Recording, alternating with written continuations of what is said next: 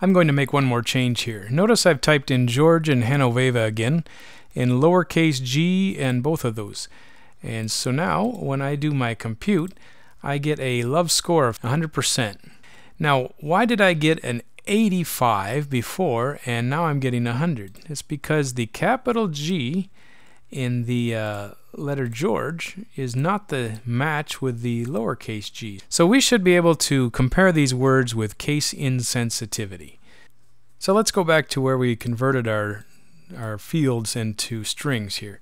So after we compute to string, let's go to dot and to, let's choose a choose to lowercase for both of these. So that way we do lowercase letters on comparison so now it should make no difference whether the letters are capitalized or not.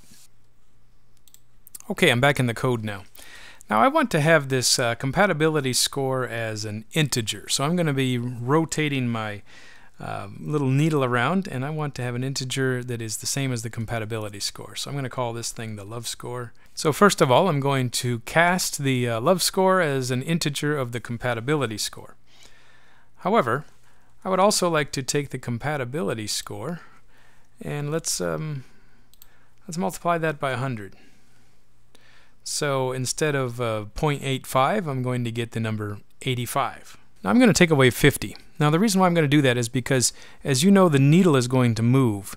Let's say if it's less than 50, it'll move to the left. If it's greater than 50, it'll move upward toward the right.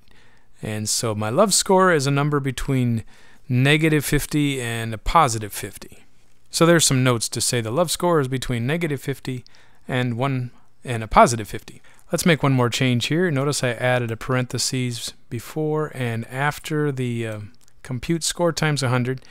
So we want to multiply by 100 and then round off to an integer and then subtract 50. So I got my order of operations a little bit better here. You'll recall that we have a, a rotation, rotation animation and this is uh, going to be a review from our bottle.